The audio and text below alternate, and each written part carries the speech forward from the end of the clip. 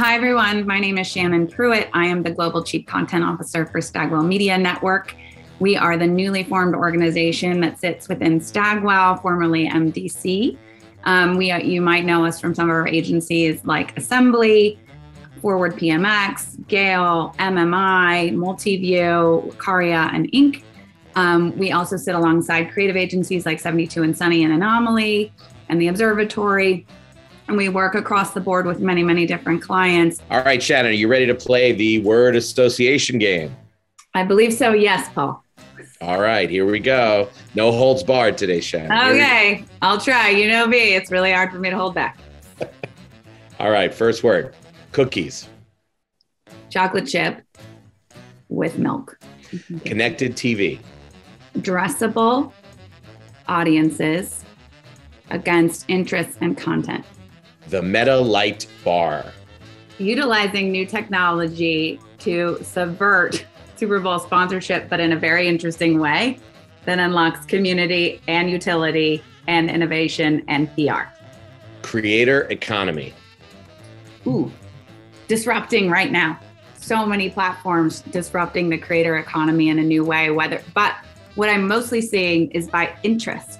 So by interest, you take brands like what Steve Stoute is doing with United Masters, right? So creating, disrupting not only the creator economy, but also industry, right? How music has traditionally operated will be disrupted in that way.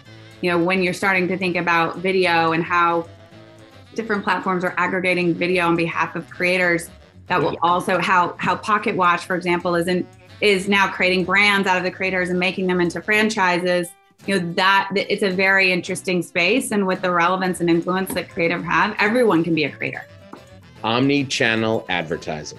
Important but in need of reimagination. It's really about creating experiences at each point of interaction. Nielsen. Oh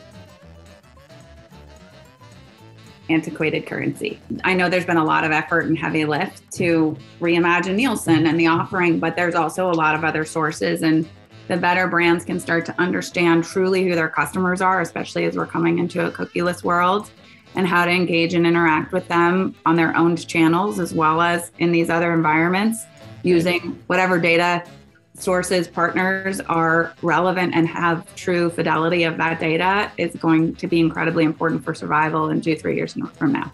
The Honest Life.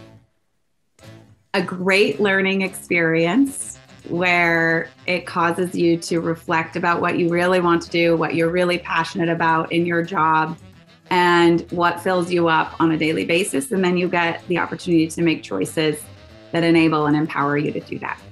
I have one more listed here if you want to do this one, which okay. is hot chocolate. Ooh, Quinn's Cocoa for the Cure.